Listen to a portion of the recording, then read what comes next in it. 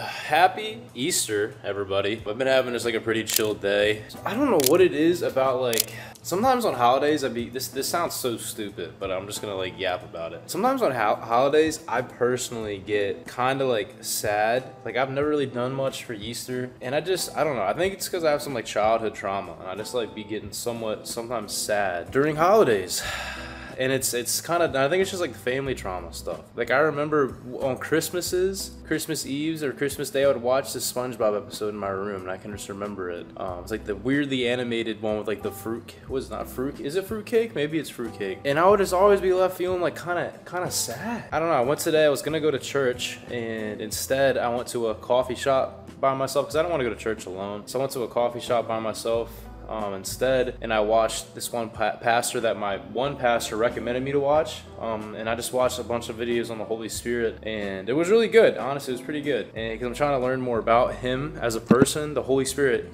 In the, in the essences of it, was really good. I'll, I'll have to like link the guy. But yeah, I, I, hope that's not like depressing or not. I don't know. I just felt weird today. So gonna spend some more time with God later, and then I'm about to go train for the second time today. I already worked out once. I went uh, first thing in the morning hit shoulders. Before I thought I was gonna go to church, then I just was like, all right, I'm not going. I'm gonna go to the coffee shop and do my own thing. I've been doing the sauna a lot lately, trying to do like 20 minutes in it, and I've been feeling really good off of it. So that's that's. Oh, I did 10 minutes of cardio as well. I gotta do a little bit more cardio. I went tanning today. When I say I went tanning, I just went on my balcony and just sat in the sun for a minute. It felt amazing. It's a beautiful day here in Charlotte. Uh, it's enough yapping. Let's go. Running the sour green apple. What would you rather get, the blue or the green? I did half a scoop, that much water. It's really not a lot of water, but man, this tastes so... I feel like you cannot beat a better flavor profile than a sour green apple flavor. Like that's my favorite energy drink. Uh, but then Ryse just kills it with their flavoring of that. Like I don't, if I was to do a pre-workout with them, like I would want to do a sour green apple or like a sour cherry maybe I could do it with them because we were talking about making one. But this green apple, bro, has got to be my favorite like tasting thing. Like when I eat like candies, I'll always go for the green apple one, but they killed it with that. So code Alex, 15% off, half scooping it because I'm not trying to do a whole 400 milligrams caffeine right now. All right, so having a little bit of a chest workout. I've been training chest a lot differently than I kind of ever have. And therefore, I want to make an updated how to grow your chest video. Now, I've done plenty videos on the whole concept of like how I've built my chest, how to grow a bigger chest, because that's usually what I'm known for, because my chest kind of carries the rest of my physique. My training definitely has has changed since the first time I've ever made a video back in like freaking 2021 of how to grow a bigger chest. Back then I used to do a lot more, I called it pump training. You know, it was a lot higher volume, lower weight, a lot more focused on mind muscle connection, which I still do, but my training philosophy, philosophy was a lot different. So now it's a little bit different. And then of course I kind of have to train a little bit differently because of my um, dislocated shoulder, my torn labrum. Usually I've always been able to train around it, but ever since the last one, it was a lot more of a traumatic dislocation. I still have not been able to go back to really barbell or, or dumbbell pressing um, the way that I used to, which kind of sucks. But still, regardless, going into any chest day, I always still recommend that whole entire pre-exhaustion method, whereas you pretty much pick a movement that you know you have a really good kind of stretch and squeeze on, or a really good pump that you can get out of it. You really have a good mind muscle connection in that. So sometimes for me, I'll do you know, sets of push-ups, gives me a quick chest pump. A lot of times I'll do a fly, whether it's a pec deck or a cable fly something that allows me to get a good contraction just kind of force blood into my chest but it's not it's not really exhausting. It's not really exhausting my muscle fibers. I'm not really gonna you know lose a lot of strength or anything because you want to make sure that when you go into your next exercise it's going to be something that's going to be where you push a lot of weight. We're just going to mechanically mechanical tension we're just going to load the muscle as much as we can but we want to make sure that we feel it at the same time. A lot of times i know when people go right into a chest pressing movement whether it's a bench press or a plate loaded press and you go right into your sets it takes a while for you to start feeling the blood in your chest and it takes a while for you to kind of feel that mind muscle connection so you don't really know if you're getting the best stretch and the best contraction. When you already have blood in the chest, you can really squeeze a little bit harder and it makes it easier to really feel like you're actually working it. So that's why I recommend doing the pre-exhaustion stuff. Now, when it comes to the second movement, which honestly is the first main movement of the of the uh, workout, I always do a heavy pressing movement. Now, that used to be for me, you know, a flat or an incline barbell or dumbbell press. Um, really would like to use free weights just because I feel like you can load the muscle the best that way. You can really focus on mechanical tension and progressive overload. But as of recently, I only do machines because machines feel a lot better on my shoulder and it's a fixed path, you know, of motion. And I like them because you can kind of do a little bit more intensity with them. It's easier to go to failure when you're using a machine, a plate loaded machine. It's easier to do drop sets. It's easier to do partials. It's safer. So it's just kind of a better alternative now, in my opinion. So that's what I've been doing different. I don't really do as much free weights now. Um, so I love doing like an incline plate loaded press. Sometimes I'll do a Smith machine variation, um, which I love a lot. Uh, but yeah, that's for the most part what I start with. Now, uh, again, I'm big on the intensity and lower volume now. So my rep range always, at least for that movement, is six to nine reps. If I'm hitting nine reps and I feel like I could do another, then I will add like at least 25 pounds to each side. Um, and I'm cool if I'm around six reps to failure with good form. And then I always like to finish either with a few partials or with a static hold. And then the last set, I'll always do a drop set. I've always done that. Last set, always do a drop set, meaning you go to failure with whatever weight you have on the bar, six to nine reps, drop the weight about 25 to 50%, go to failure again. Um, it's just a way to kind of increase the intensity a bit. So that's always what I do. And now the next movement after that, I'll try my best to find a fly variation that really doesn't irritate my shoulder. Sometimes I can do a pec deck, and when I do a pec deck variation, I like to do a little bit of a wider grip, so you'll see me kind of grab the handles of like the pec deck not like the handles that are meant for it but I'll grab like the actual attachment of the pec deck if that makes sense and one of the biggest things that have helped me with my shoulder health is getting the extra push is what I call it I've talked about this in other videos it's where you act as if you were hugging a tree or a barrel you can do this in your pressing motions as well a lot of times they teach you to kind of keep your shoulders back and down, like when you're benching or whatnot. But I found that you get a better squeeze and a better contraction when you really try and push your shoulder and your scapula forward as you're pressing forward. Now, I don't know how to kind of display this unless I was doing it in person, but it's just the act if you held your hands out in front of you with your palms facing down and you try to reach out farther without kind of extending anything, roll your shoulders forward. That's what I mean by like the extra push. Um, it's like rotating your scapula and you get a crazy contraction just by doing that alone. So whenever I'm doing a pec deck, or whenever I'm doing a press, I try and mimic that motion. Now I do drop the weight a little bit in order to make sure I get that, but to me it's a little bit more worth it because you're getting that extra contraction. Again, it's all about squeezing and contracting as well as stretching. That's why I love doing a fly movement. You get a really good stretch. Uh, I used to be really big on doing flat dumbbell flies, which I don't do as much now, but those were used to be my number one go-to exercise. Now I just kind of do pec deck or a cable fly. Um, and then usually I'll finish off, you know, the workout either with some push-ups um, or a another machine plate loaded press. But I'll try and do, you know, if I started with incline, I'll end with decline. Um, just kind of get a little bit of a different angle variation. But I never do more than three exercises for my chest, and I never do more than two working sets per exercise. So it's only six working sets total for the workout. But if you have adequate intensity, you're lifting heavy, you have a you know decently long rest time in between each set, and you're doing the drop sets and the partials and whatnot, that's all you need to grow a bigger chest. It's all about executing. If you're working half-ass and you're going, you know, you could have done a few extra reps, and yeah, you probably should add in another working set because you really didn't work that hard on those those two sets, and you should add another third one. But I know for me, when I'm training hard and I'm dialed in, I only need to do two working sets per exercise, and I get just as much growth as if I was doing four half-ass, you know, 8 to 12 reps type scheme. Yeah, it's, it's really simple advice, bro. This goes for anything, but stretch and squeeze. Make sure you're always getting the extra push. Start off with pre-exhausting. Really focus on mind-muscle connections. Don't just throw like weight around, but also lift heavy at the same time. We're going to be test driving a 911 Turbo. This is the old gen, but this is all they had because I'm looking at getting a new daily. Test driving the 911 Turbo. First impressions of the cockpit, I do like it. It's honestly pretty roomy. These back seats you are not gonna fit in whatsoever. There's no leg room unless you're a uh, literal child. I don't even think a child can fit back in these seats. So yeah, that's not really counting, but it, it does got a good like feeling in the cockpit. Like there's a good amount of room cool interior. This is the old gen, so even the new gen is gonna be way better, which is the one that I'm looking at getting. So yeah, we're just gonna go dabble and have some fun. The newer, I think it's what, the 911 992 Turbo S, uh, like the newer gen one, is 100 more horsepower than this one, because this is a standard turbo and it's the old gen. So 100 more horsepower, and I just did a little mini pull, and holy, bro, brother, this thing Bro, I could not I could not imagine hundred more horsepower. How do you even Alright, we got a straightaway already. We got a straightaway.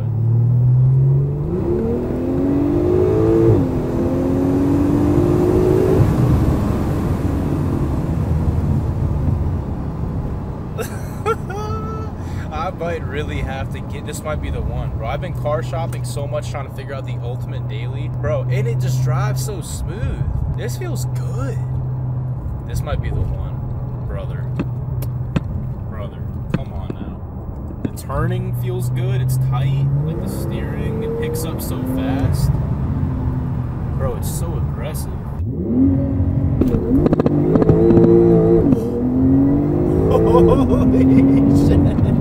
That took that took my breath. That's like a that was like a Tesla Plaid launch. I've launched a Tesla a few times.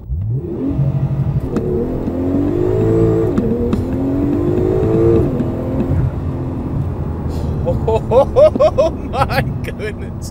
Dude, this thing's insane. I got a big update for everybody. I sold I sold my Mercedes Maybach. If you guys saw like a few videos ago. I'm selling my GT500, which if you guys have seen the famous blue Ford Performance Blue GT500 that I modded to close to a thousand wheel horsepower. I'm selling it. It's got about 7,500 miles on. If you're interested, hit up this email. I'll pop up because I, I do. I'd rather sell it to someone who follows me just so they know like the the legacy behind it. And then maybe I could still see it one day down the road. But right now it's sitting on a 93 tune, so it's at like 760 wheel. Um, I took the exhaust and the headers because the headers were not gonna pass inspection if someone buys it.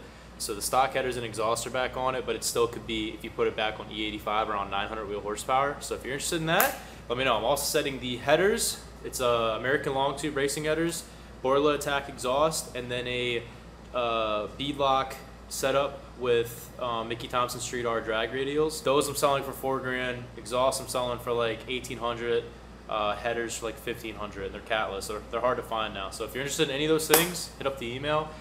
Also selling my Corvette, my C8 Z06, flat plane crank, what is it, 5.5 liter V8, Redline 8500, roughly right now with the exhaust, it's set close to 700, 707 horsepower to the crank. Um, it's 670 stock. I got a Fabspeed exhaust. Exhaust setup was like pretty expensive. It was like 10 grand, 12 grand installed because they're so hard to get right now. It's got high flow cats on it. That um, selling for it's got 2,500 miles on it. The Shelby has 7,500 miles on it. So if you're interested in any of those things, it's got the Z07 package, carbon options, all that. Hit up the email.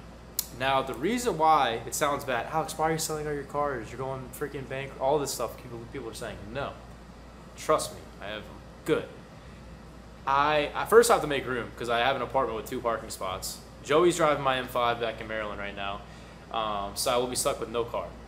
I have a new car that I just bought. That's gonna be my daily driver, which is still a pretty freaking dope car, but it's already been depreciated a bunch, um, which I'll announce next week when, once I get it. It's still a fire car. I'm excited. Um, second option, actually, no, I'll give you a hint. I'll give you a hint for the daily. Four liter twin turbo V8. Now these now the reason why I'm doing a lot of this, specifically why I chose to sell the Corvette, I am bidding today on a salvage car. If you don't know what that is, it's a car that has been in a wreck, um, and like the insurance, whatever, takes it to a lot. So I'm bidding on it because I want to bring back to life like the anabolic auto channel and just like I love cars, bro. It's one of my biggest passions. And I'm gonna do a rebuilding series of rebuilding a wrecked. I'm not gonna say what the car is, so we're surprised. Um, but it's an insane car, and I hope to God that we get this bid. But thankfully, at the Charlotte meetup I did, um, I had two guys come up to me and they had a shop, a used car dealership. They're like, bro, first off, we've already rebuilt an M4 entirely, engine and all, so they know how to work on cars and they have the spot to do it at and are helping me with the auction. So, bro, it just worked out perfectly. So I'm going. So we have a spot to basically do it at. But yeah, we're gonna be rebuilding a car. Hopefully we get it. I'll be bidding on it today. Um, so I'll probably maybe even document that. But I'm debating whether or not I want to post the series on my main channel or if we should just do it on the Anabolic Auto channel. I'll probably do it on the Anabolic Auto. Um, and then if it goes well, I might keep the car or I might raffle it off and sell it to one of y'all. And then repeat the process. So that's that's why I'm doing all that. But I just want to let you guys know that's like a big update for me right now, um, and I'm extremely excited to kind of like share that. So, but I wanted to do a quick Bible study because I don't think I've done one for this video yet. Um, it was one that I did this morning on my own. It's out of Hebrews 12. This is if you're going through any hardship right now or any storms. I think I've done one on this before, but this is just such a good one because it, when you're enduring hardship and like you're going through a battle, whether it's you know you're hurt, divorce, heartbreak, something in life isn't going the way you want it to go. Maybe you're lost in life. You don't really have, you're, you're misdirected. We all we all go through struggles and storms like that. Never think that you're the only one going through it. We all go through stuff like that. But this is what it says in the Word. We're in Hebrews 12. My son, do not make light of the Lord's discipline, and do not lose heart when he rebukes you because the Lord disciplines the one he loves, and he chastens everyone he accepts as his son. Endure hardship as discipline. God is treating you as his children. For what children are not disciplined by their father? If you are not disciplined and everyone undergoes discipline, then you are not legitimate, not true sons and daughters at all. I'm going to skip down a few verses just so it makes more sense. No discipline seems pleasant at the time, but painful. Later on, however, it produces a harvest of righteousness and peace for those who have been trained by it. Think of any hard event that you have went through in your life. Just brainstorm and think of it right now where you really went through and you felt like it was it was just the end of the road. Now that you have passed it, look back on that moment in your mind. What do you feel like you gained from that? Have you gained maturity? Have you gained some type of experience? Have you learned from a wrong decision? I know 99% of you are going to find something that you have came out of that that has improved you as a man and it made that situation worth it. I can think of plenty of struggles in my life where in those moments I thought God was distant from me and that He was punishing me. Looking back now in retrospect, I see that God was closer then than He ever was because He was disciplining me. He was making me into the man that I am today, and I thank Him for that. And that's how loving of a father that He is because if He gave me no struggles and no battles in life, first off, I wouldn't feel like I needed Him because I just would feel like I'm all good on my own. Second, I would probably be like I can't use the word because I'm trying to stop cussing. The cat, similar word for a cat, but I'm not going to say the word. I'm trying to stop cussing. I would be just a a frightened, immature, like sensitive little boy. You have to go through hardship to be disciplined to become a man, especially a valued man that someone would even want in life, right? So you have to go through these battles because they, they, will always strengthen you and they will harden you to become a better man. I am more mature from all the battles that I've went through. I am more of a understanding, disciplined man from all the battles that I've went through. I've learned from so many mistakes where now I'm moving forward. I know how to not make those mistakes again. So I thank God for the battles. And if you're going through one now, instead of being like, God is far from me, where are you, God? Why are you doing this to me? Take it as, Lord, I know that you were disciplining me in this moment. Speak to me of what you want me to learn from this experience and give me the strength and the peace and the joy to endure it. That's what your prayer should be, right? Because he's closer then than he is when he's when you're not going through hardship. I'm telling you right now. So that's the word of the day. Love you guys. Yeah, man, I've just been people been asking for like life updates, like how I've been liking Charlotte. It's been amazing. I love it. My life has been a lot more at peace and just a lot more simple lately. Like I don't, I'm sure you guys see my content now. I don't travel like I used to. I'm not going out to LA, going to zoo culture, going to Miami, all like I used to. And I know that might seem like it's more interesting, fun content, but for me, where I'm at in this point of life, bro, I just enjoy living like a pretty simple life and I'm hoping the car thing will be like a cool hobby that I get into. And then I've also got once I get the daily, I have we have a 300 acre farm here in uh, Madison Heights, Virginia. That's about three three hours away from Charlotte. So I plan on starting to drive up there more frequently, bringing the GoPros and the drones, and just filming some crazy content on the farm, like shooting gun, like shooting guns, lifting, driving Can-Ams and four-wheelers, and documenting that side of me, which a lot of you guys have never seen. So expect content like that coming soon. Stuff that is, is still gonna have my fitness stuff in it, but I'm gonna start being more who I am because fitness industry, industry stuff is kind of whack and I'm not all for it. But that always will be an identity in me. But understand that there's so much more to life than just lifting weights. And I'm going to show you guys that with my content moving forward. Just how to enjoy life, how to have a healthy balance with life, with fitness, with everything, but still having a life outside of fitness. And then your faith, bro. That's all I'm here for. All right, love you guys. God bless. Until next time. Peace out. Code Alex, Ryse Supplements, and the Young LA drop tomorrow. See y'all.